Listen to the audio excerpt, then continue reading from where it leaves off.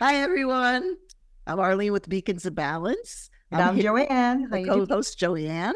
And we have our wonderful guest speaker that I'll shortly introduce, Sunny Dawn Johnston. But welcome to Beacons of Balance. Thank you for being with us. This is a, a station that's all about being in balance. We, our world is a world of duality up, down, black, white, left, right, whatever. It's never going to go away and we're trying to live it in balance because everything is in such chaos especially right now with everything that's going on in the world. Yeah. so we'll we'll share little pearls of wisdom from ourselves and from people we bring on to help bring it back into balance. It's for ourselves also and you and remember you're important. Wow. Sister it has been like i feel how long has it been? Anyway i'm looking at your bio. Oh my god girl we need like five podcasts just to let everybody know. Yeah. You don't have to share all that stuff. Don't don't you worry. Oh my God, no! Like I'm, I'm just looking at the highlights. You know, everyone knows you're a world-renowned psychic medium, which is very cool. Uh, you're a regular contributor to Women's World magazine. I did not know that, Sunny. I was at a grocery store and I opened up like, what? so cool. I mean, yeah, it's kind really. of fun to. My granddaughter thought it was really cool, and my picture yeah. was in the magazine that was in the store at Target. She's like, "Oh my gosh!" I know. I was doing this in Ohio. I swear to God. And then you penned like twenty-two books. Holy cow! And then all the meditation CDs. Well, we don't call them CDs anymore. They're probably what MP3s now. Uh, and then the book that really puts you on the map. My favorite, by the way, I promote this constantly yeah, I just told it. people on my Facebook, get this book because it covers all the archangels and your amazing story. And then you also have a book, Love Never Ends. And then you've got Elevate Your Life. And then you've got this new thing, Intuition 365 Playground, 30 years experience. And then, oh my gosh, what else? Jewelry line. Hello. I don't know how. To, really? You have a jewelry line? When I do you have time to do this? Um, oh, wow. You should see her. Oh I, am a blinger. I, am a blinger, Sunny. I'm a blinger. I know, me too, girl. I love it. I oh, know. You're the bling chicks. you should see her jewelry. It is, and she has one with a lighthouse, don't you? Yep, I sure. Oh do. my God, we have to have that lighthouse. We need to get that for each other for Christmas, early. Yeah, yeah. It's like, is that Swarovski crystal, Sunny? Swarovski, you got it. Oh, Look at you, you know all of it, girl. Good job. I know your, I know your story. I totally know your story. So I would love to, you know, start with your backstory because you know which one I found so interesting is when your brother was it Shad when he was five. Yeah, he saw the angels in your house, but you felt them. Can you? Oh. Yeah, there's there's two pieces. The way I start, the way I opened up to this world in the first place was uh, when I was 13 years old. I went to bed one night and um, I woke up in the middle of the night and uh, rolled over and I saw a beautiful, colorful winged being above my bed. And I'd never like I didn't I didn't have any experience with angels. I didn't have any background in angels. I was raised not religious, but around all my family was Mormon. And so I was from Utah. And angels are not a big topic in the Mormon church. And so really? um they're not. And so um it wasn't like I didn't I didn't know even what it was. So this this feeling that I got was so like just like that's what it was. And um, and I was so calm. And I'm 13, so I just rolled over and went back to sleep. Like, oh, that's so nice. And then when I woke up in the morning, then my head kicked in, and I'm like, oh my god, what was that? And I ran downstairs and told my mom, you know, and and then she's like, what was your guardian angel? And that kind of opened the door to all of all of this in my reality, which was 40 years ago last month. Wow. Wow, wow. Now, um, Sunny, Sunny, were you going through something? If I could ask, were yeah. you going through something at that period at 13? For yeah. sure, I was. I mean, who isn't at 13? Oh, right? I know, 13, yes. I mean, in general, yeah, I, I, am asking if there was something significant that occurred, yeah. some illness or something in the, yeah. You know, I, I was, so I lived in Salt Lake City, Utah. I wasn't Mormon. And at that time, 90% of the population was. So I didn't fit in. I was overweight, so I didn't fit in. I went to classes a couple years ahead of me, so I didn't fit in. So I was in a really kind of depressed state because I that's all I wanted to do was be like everybody else, and I wasn't. Course, yeah. And then then I had an angel experience, which just made me not fit in even more. oh my god. so the story that Joanna's talking about is is a great story, and uh, and I've shared it a lot because it gives a a great idea of kind of the power of uh, of the angels and and and that also that you don't have to be of a particular belief, a particular age, anything in order to be open to them. And so what happened was just a couple of months after I'd had that experience where I saw my guardian angel, I had been since then having like almost like taking class with them. I would ask questions and I would get answers. It was it was phenomenal. And so this particular day, my parents had decided to go out to dinner because they were arguing a lot. There's a lot of negative energy in our home. My parents were fighting a lot, especially around money, finances, worries, things like that. So they decided to go out for dinner and they were going to leave me with my brother. So I was 13, he was 5. They'd never left me with him before. And and the biggest reason really was I just wasn't a kid person. Like I didn't really like, you know, like all the mo- girls babysat at 13, I wasn't that girl. So they left me with him and and it was first time and so, you know, I wanted to do a good job kind of. Um, and so they left, and about 20 minutes later, my brother, who was upstairs playing, he came running down the stairs and he's crying and he says, Sunny, all of my friends, now I ought to back up for a moment here. His friends were red, yellow, green, and blue shapes, triangles, squares, circles with wings. Those were his friends.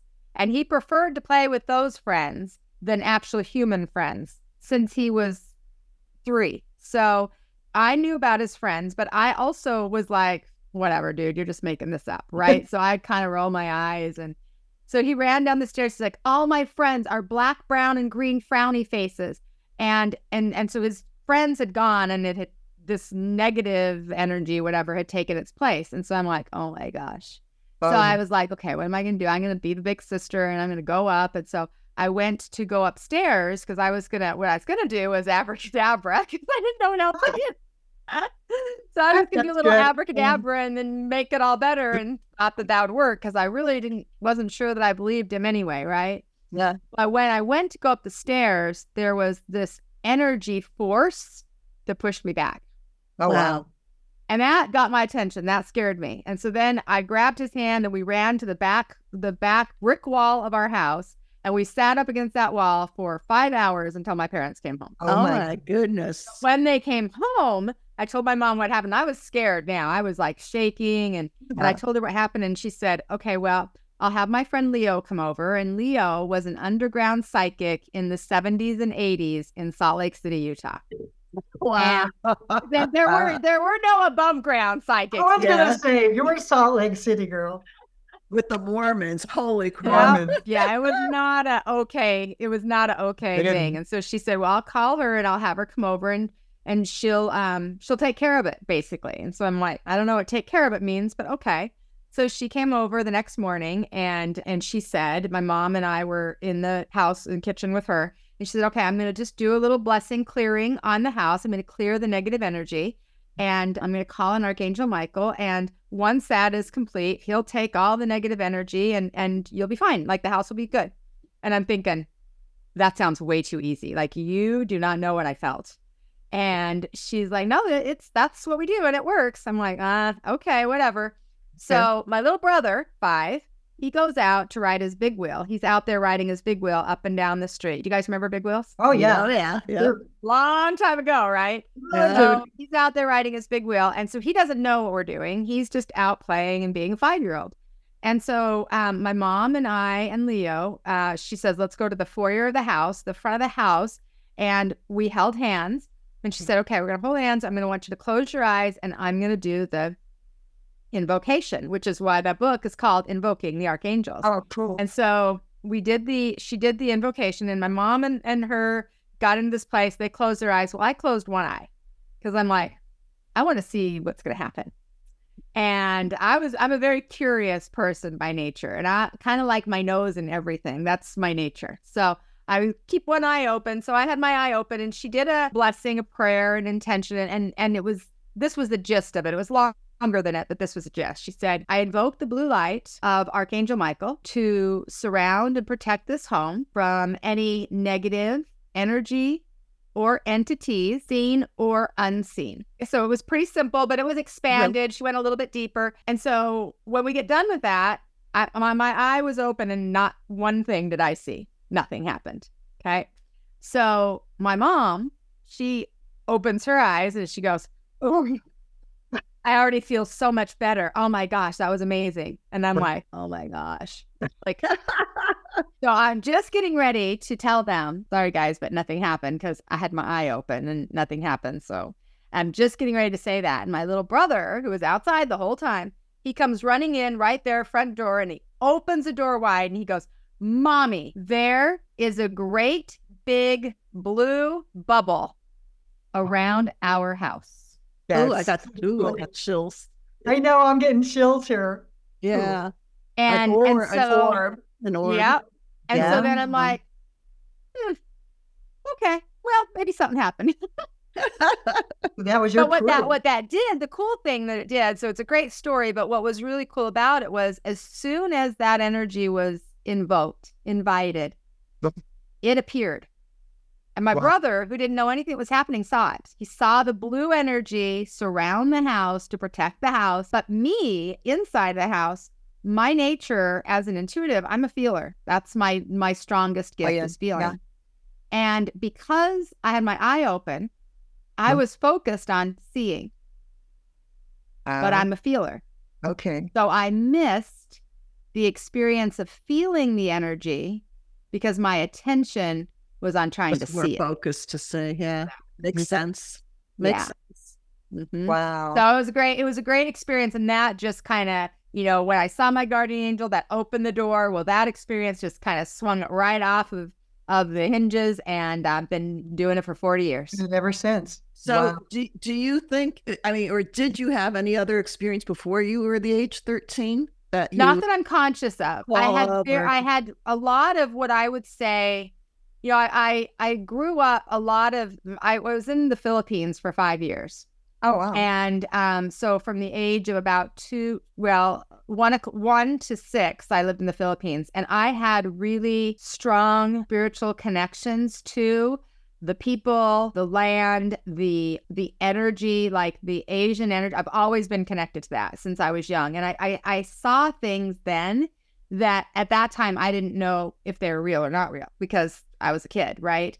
Um, Yeah. But when I moved to the states, I don't have any cognizant recollection of any type of metaphysical spiritual experience outside of knowing just i just knew things i knew things that i shouldn't know at a young age and so i had those types of experiences as far as visual things that was the first time i'd ever visualize visually seen something Wow. Sunny, when you were in the Philippines, I know they have, they're really known for their special healers that they put their hands right into the body. mm-hmm. Did you ever witness that when you were there? I didn't. You know, the the only thing that I witnessed that was really interesting was dad had actually taken me to the farmers market and I was 3 years old and I was up on his shoulders and they were having an Easter celebration. And and in the Easter celebration in the Philippines on the main road what they would do is they actually had a cross and people volunteered to be crucified to the cross. Literally hung with their hands Oh on the cross as people walked down the walked them down uh, this particular pathway. And then i think it was every half a mile or so a Yeah. new person would volunteer and that was like a Oof. sacred blessing to them but me Yeah. my dad's six five so me as a three-year-old on top of a six five and all the filipino people that are short Yeah. i saw my dad didn't mean for me to see that but i saw the whole thing and i asked him i said daddy what you know what what are they doing because i saw the blood i mean it was it was traumatizing traumatic for a three-year-old. and he said they're they're they're practicing their religion. Oh, and that planted a seed for me that then i went to utah. Wow. and more religion. And i had a very strong aversion to religion because of what i witnessed. And then of course being raised in an environment that i wasn't religious was a real struggle for me. I had a lot of of, of conflict internally for many many years. I don't any longer but it was a huge challenge. So that was the probably the biggest thing that stood out to me that that i took with me. As far as the sacred energy and things like that and healing the, the people of the philippines were such a, a gentle like i love thailand same energy right? Thailand, they're very Uh, spiritual. just that Like Yeah, China's So- different, but yeah, Thailand. china's different i've been to china too China's and so I'm not- like, Uh, yes. yeah definitely. that's not the same no, no. Um, so, Sunny, take us to the point when you were like, I think you were 18 when you had a baby and you were in the hospital. Something happened. Yeah, yeah. Um, was that, that with Arizona? Actually, um, this was actually my son Crew. So oh. when I was 18, I uh, found out I was pregnant and was not planned, not prepared in any way. It was I was on birth control pills. I had had uh, strep throat, and so I'd taken antibiotics. And back then, they didn't know oh, the antibiotics yeah. made birth control pills not work. So when I found out I was pregnant, I was devastated. Like I never planned to actually have children. I can't. And so when I found out, I was very number one, I was angry and I was scared to death. Like, how am I going to raise a child? And then I would look at the guy that it was my boyfriend who was an alcoholic at 19. And I'm like, oh my God, how are we going to do this? Right. And so it was a really difficult pregnancy. So by the time I was four months pregnant, I developed toxemia, which had turned into preeclampsia, which turned into eclampsia. So I was on complete bed rest the, most of the pregnancy. And and that pregnancy was, you know, the way I look at it is my body was toxic because my thoughts were toxic, my feelings were toxic. It literally took over uh, my body. And when you have toxemia and eclampsia, it's your your your body is is trying to basically kill the baby and you. Like you you you can't function without mm, uh, medical intervention. You you can't live without medical intervention. And so i was on a lot of medications. When i finally went in to have my son um, I was induced, did a 34 hour labor. I dilated to one half of one centimeter. And uh, they sent me home. And so I went home. And then 10 days later, they brought me back in, induced me again, 36 hours of labor. And I had a stroke while I was in labor. You had a stroke? I did. My blood pressure was like 260 over 220, some crazy number. Wow. And so they did rushed me in to do an emergency C-section to try to save one of us because they didn't think they were going to be able to save both of us. And and so they they took the baby. Uh, my son was healthy, and uh, and that was beautiful and amazing. Um, but I, within a couple of days, developed 106.3 degree temperature, and I had that temperature and that infection for almost three weeks. So the baby went home, and I did not and um, and it was a very very difficult time. I know a lot of people um, uh, recognize and understand NDEs now, but we didn't know what those were then, and, sure. and we didn't talk about them certainly. And so most of that time, I kind of spent in I was out of my body almost the entire time. You know, the, they didn't know what to do for me, so I, I was literally from my breast to my knees just oozing infection. Oh my god! Um, they went back in and they did another C section and went in to see if they uh, could find any utensils. They thought maybe they left something inside of me when they did the the cesarean. And what ended up happening is that the about two and a half weeks into it, my doctor came in and he um, sat me down. I was by myself because I couldn't be around people either. I had one visitor and that was my dad because they didn't know what I had, so they didn't know how to handle it. And so I was by myself, and I was 18. Well, I had just turned 19 at this point, and they said, "We don't think you're going to make it through the night." And there's nothing else we can do. We're taking the taking you off the antibiotics. Uh, they're not working. We need to know who your son goes to if you don't live. That's heavy and stuff. That was and it was huge. And the and the thing was, is you know, I, I was very naive at, at, at that age. Um, you know, I had been raised in Salt Lake City, which kind of had there's kind of a bubble of protection around uh, kids in general eh, there. And I just moved to California, and I was like, I just had a baby. Like people don't die having babies, and at this time it was 1990, and and I'm in a hospital. Like that's where you go to get help, and you're t- just telling me you can't do. And like I just was very naive and thinking that well, if you go to the hospital and you're sick, they make you better, right? That was just my kind of thought. And so when um when the doctor left, eh, that's when I realized how sick I was. I didn't I didn't know because I was so out of my body. I just really didn't know. And when I sat with that, I'm like oh my god like i'm gonna die? Like i haven't seen my son since since he was two days old and i'm not gonna live. And so i felt intuitively that number one i needed to ask for help. And so i asked i i didn't know how to ask for help because i had a lot of shame and a lot of guilt and and really struggled with those types of value and worth and all those things. So i called all of my family who are all religious and i was not and had a lot of issue with it but I called them all and I just said, I need I need prayers. I need love. I need healing. I need light. Like I need something. It was a three hundred twenty-three dollar phone bill because that's what back when you paid for long distance, right? Oh, yeah. And so I did that. And then as I laid there, so my arms were strapped down because of my infection because it was so painful. Um, so I was in, if you can imagine, laying down in the bed, I was in like a open hearted, open position. Yeah. And um Archangel Raphael appeared at my feet. You And actually saw him? I saw him. I saw him. I felt him. I saw the beautiful green emerald energy at the at the foot of my bed, and he just told me to breathe in his energy. So I Oh. bre- would breathe in the everything. green, and I would breathe out what was like sticky tar. That's how it it I perceived it, and um and I did that until I fell asleep somewhere. But over the next twelve hours, I was in that kind of state. Um, and when I woke up, my fever had finally broke. Wow. And did the angel three give you any messages when he appeared to you? um, there was no there was no communication outside of you are healed. And it's like telepathic? Or- Yes, it was all telepathic. But Right, even even when I was, you know, when people ask like, well, did you have an NDE?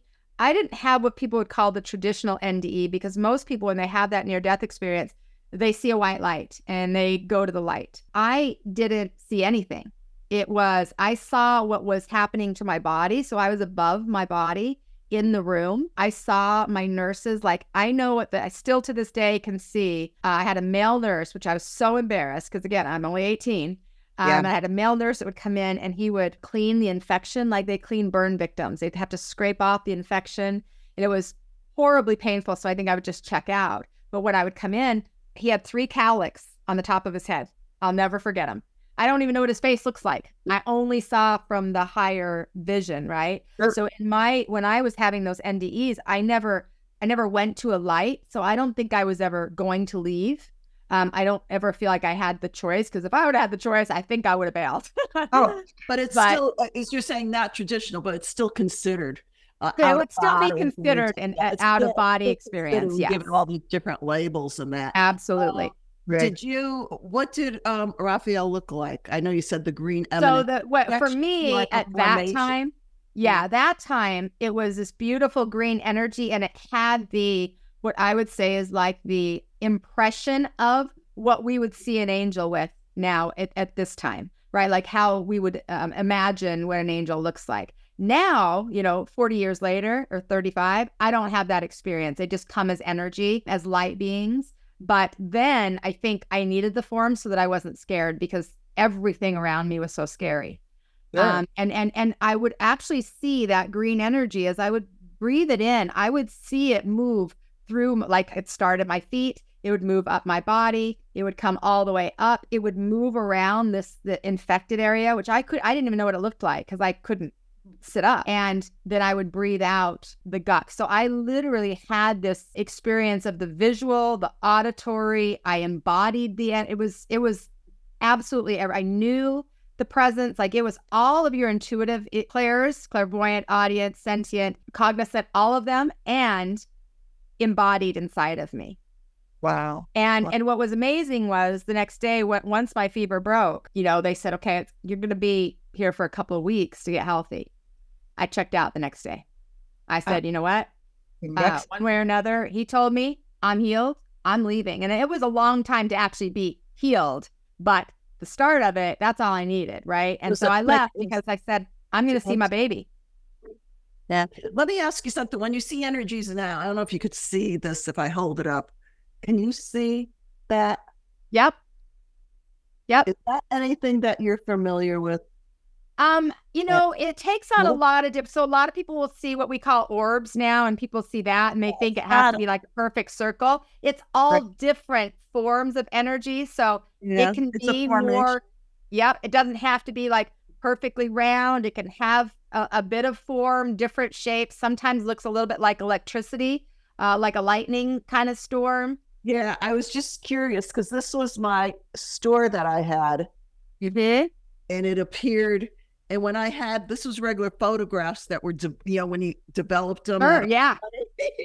So I Yep. actually went to the camera shop because I know I'm a former check X-ray tech too. So when you have with uh, it's called static, it shows Mhm. up on a film like white, like like you said, like lightning. You know, Sure. the the people at the photo uh, photography they said no, they didn't know what that was, and that shouldn't be that color. So Yeah, I no, kind of I, I would say that's for sure angelic presence. yeah. I mean, it could, it could also be spirit spirits, but um, the angelic presence, especially if you had an angel store, uh, you know they're hanging around. Mhm. So For sure.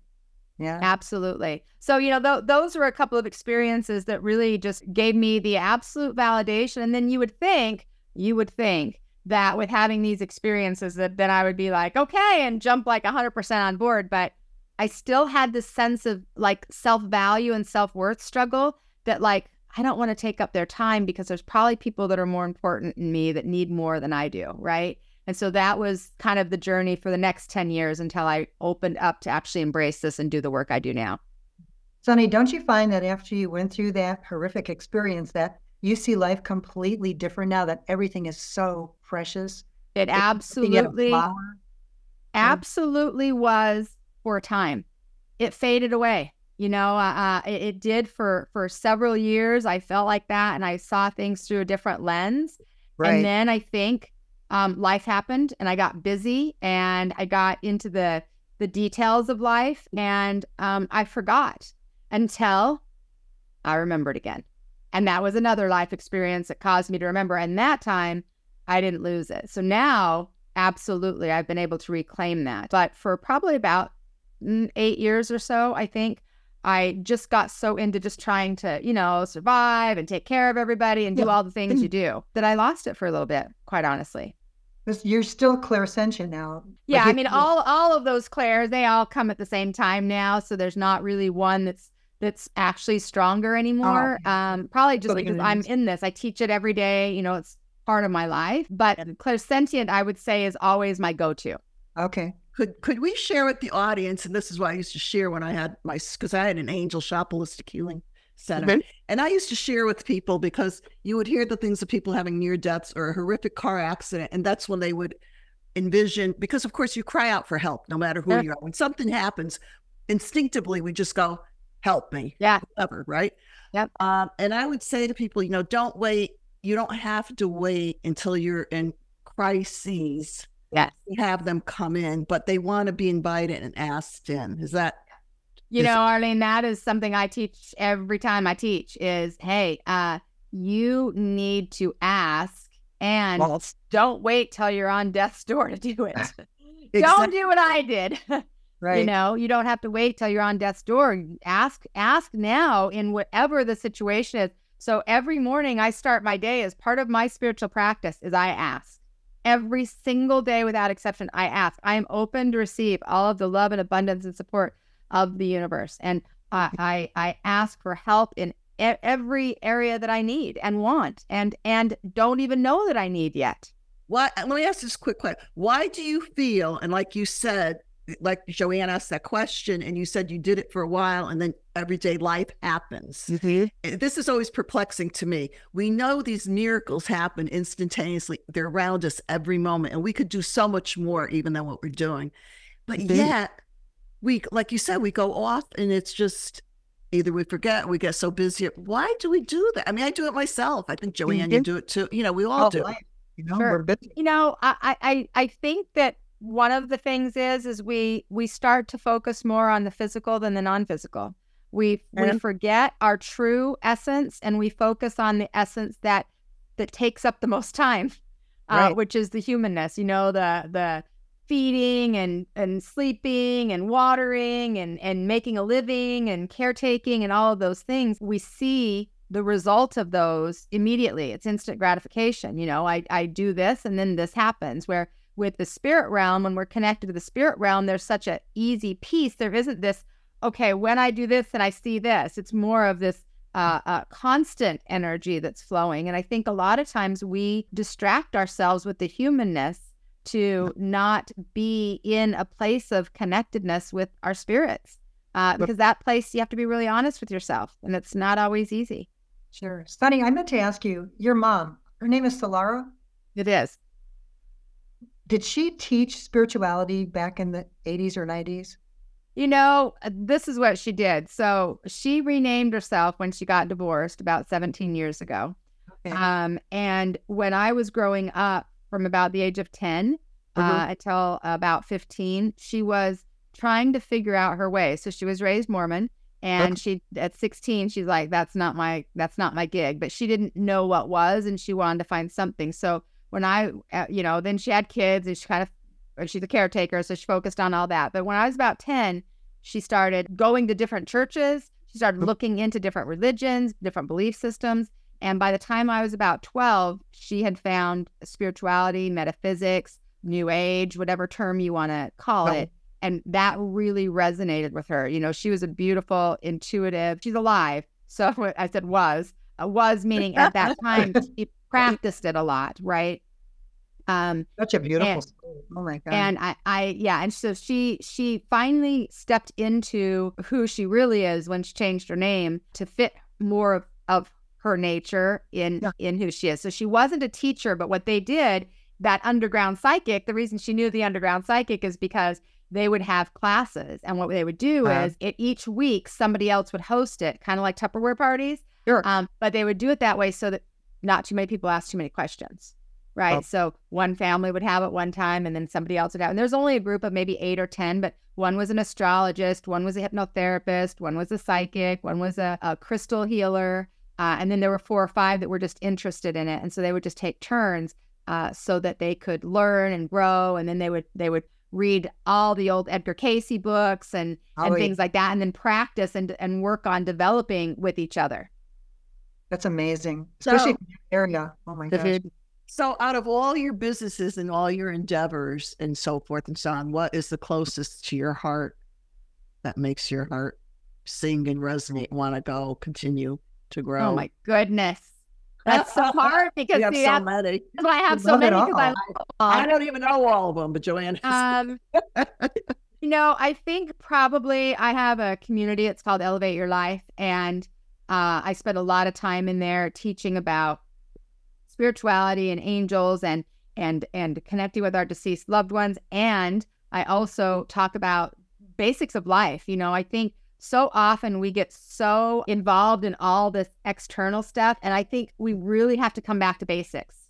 And a lot of people forget the basics and the the, the basics of of our spiritual connection. So, you know, learning how to ask for help and get grounded, maintain your energy, those kinds of things. I think that's probably my my biggest passion that and helping people that are intuitives build their businesses because you know back in the day when i started it 24 years ago nobody was doing this stuff and there was no teachers to have and you couldn't go take a class and and there wasn't like a this is the way it was i muddled my way through it just like probably you guys did in in at that time right And- and I were talking about that as, you know, 30 years ago when we started. There were three angel books. That was it. Exactly There wasn't anything else. It was all witches and spells, Sunny. Exactly. Yeah. The back in the day when I was first opened up to angels, I wanted to go learn more. And so I went to the library as a 13 year old and I said, I need a book on angels and how to communicate with angels. And the woman looked at me like I had three heads You're crazy. and she sent me to the occult section. And in the occult section was astrology book, two numerology books, and a book on runes. That was it. Isn't that amazing? But that's the way it was. But Yeah, look that's how it's it was. flipped. I mean, something's happened where people are opening up to spirituality because there's a big shift. Absolutely. I mean, I can't, I don't even know. I've written 12 angel books. So I don't even know how many angel books there are, but there are hundreds of thousands, if not oh, millions at this point. So obviously there's, there's a shift and I, I have to, I'm not a big fan of media and news media and, and Right. things like that. However, I do have to say that in my career, when, when shows like, um, Medium, uh, came out, um, uh, John Edwards doing his thing. Uh, Sometimes on some of the old talk shows, even like Donahue, they'd have uh, John Anderson. When they started Oh, having often, do you remember John Anderson? We met him, Joanne, in Florida. That yeah, I was called out of the audience. Yeah. And he was would the one that write- said- he used to do this. Yes. He to- oh, I remember that. Oh my God. you that was remember a him? he was one of the first ones ever out on TV that, did, that and that was in the 70s Yeah, that and he actually did that. and he would say, "Okay, I, I have this name, and, and stand up, but it's for deceased people that you know. That's that Mhm. name." And we're sitting there right towards the front of the road, Joanne. And he goes, "Arlene," and I looked at her and I said, "Well, I'm not dead." I'm not- He goes, "Arlene, here now, press it," and I went, "What's How, how can him stand up? Stand up. That's you. Oh my god!" Bummer. yeah, that's a blast from the past. So I I do you know give credit to uh, the media in that way that it's brought this outside of being in the in the closet and and actually opened it up more mainstream because when I first started it was so um difficult and Closet. Yeah, so woo woo. I was laughed at when I was opening up my store because there were a lot of men that had businesses in the area, and they go, "You're doing what?" They laughed at me like, Yep. And I'm like, yeah, "Okay." yeah, Exactly. I mentioned the word light workers even like 20 years ago when I named the light workers conference. They looked at me like, you don't, what is that? Is this an electrical engineer? Right. What does that mean? Exactly. You're going to teach us how to hang a chandelier? That's what I was thinking Uh-huh. on the phone. Yeah. So Well, we yeah, go- there just wasn't awareness. Yeah. well, we could go on and on, but we Oh are. my God. I know. We need you limited on back. this. There's too much to cover. Yeah, we will. Will you come back? Sure. Absolutely. it was wonderful. Um, so the show is, you know, Beacons of Balance, so it's about balance. And what could you share with our audience as far as how do you bring balance into your own personal, i.e., your your life and your families and so forth? What what do you do? What do Well, you do yourself? You know, my kids are grown now, so I don't bring balance to them at all. I figured out I couldn't control them, so um, and hopefully they're learning how to balance their lives. But I think you know, for me, um, it's changed over the years, and I can really, if I'm being 100% honest, haven't always been great with balance. Uh, I'm more, I am better at balance now than I probably have been in my entire life. And I'm still not fantastic at it because I kind of like to do everything and I kind of have tendency to be extreme. But Yeah. one of the one of the things I do that really brings me into that centered space every morning is I do five things. And one of them is I meditate. The second one is I call in my angels and I ask for help. The third one is I invite Archangel Michael into my space to help me to maintain my energy every single day. Um, the fourth one is I ask, how may I serve? And the fifth is when I when I take a step on the floor, whatever whatever that is, the first step I take, I say thank you. Oh, those are great. Great. Help Right. me to bring Those back. are wonderful. Oh my God. It's so good to see you, Sunny. I can't even begin to tell you. It's It's great to see you, and thank you guys so much for having me. It was fun Thank talking. My you. God. Thank you for being here. And um, thank you, everyone, for uh, you. watching, listening. For those listening, just get out of here. For those that can see us, I'm saying get out of your headspace and drop into your heart space. right. It's always about love. Remember, each of you matter. You're very important to all of us. Right. And um, And whatever you do, make it count. You know? Life's precious. Really precious. Remember to the, be the beacons of light that you are and just shine it out to everyone. We need. Exactly. Peace in this world. So we And love Sunny's information will be posted. Yes. Yes. people- Oh, yes. Everybody, I always forget this. Remember to subscribe, like, leave comments. And Sunny, all your information will be posted below. You can find all her information for, I'm sure you have workshops, talks, your books, everything will be listed there. Joanne, anything else? There's so much. I mean, yeah, well, like I said, we didn't even get into you being a, a psychic detective for the program. we gotta I know. I got I Make got a a lot of different a things going on. So Yeah, girl, you have you too many. Oh, and I love your heart, by the way. thank you. Me too. I love that. The I love that. tree. I love Oh, it. it's a sitting Trine. on my shoulder. Yeah. Well, I- I'd be happy to come back and we'll talk about one of the other areas if you like, ladies. Thank you so much, Oh my God, yes. Thank you so much, so much, Candace. Sunny. Love you, friend. love you, love you, love you, sister. Thank you. guys. Thank you. Have a great one. Bye bye.